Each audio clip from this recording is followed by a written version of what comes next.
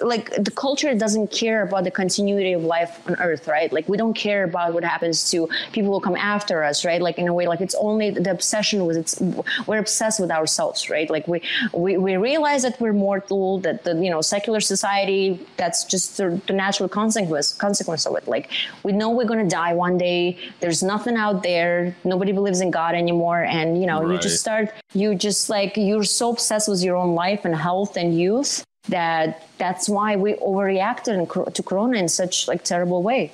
Well yeah you were saying too earlier the the well the long covid thing was something that I, you know it's just it's just been oh, funny in general, and then you were you were saying how it's like a white woman thing. Like it's, it really it's, is. It's, it, white women are very innovative. Okay, they created so many fake diseases. no, speak on it. Speak on it. Fibromyalgia ass. What the fuck? oh uh, before right, I got hold my... on, hold on. Excuse me. My mother suffers from restless leg syndrome, and I will not take any of this.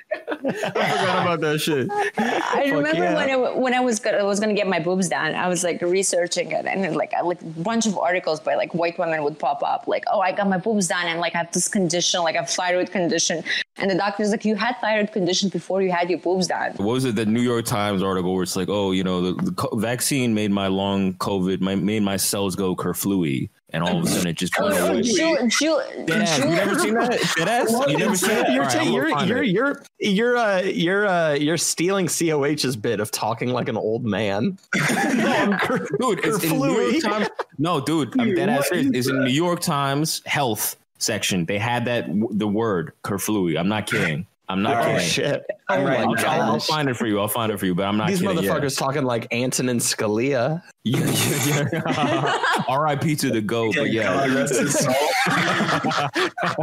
He'd roll in his grave if he could hear these people talking today, dude. Oh Jiggery pokery, right? The... I mean, by the way, Clarence Thomas is not black. This is the Fed Post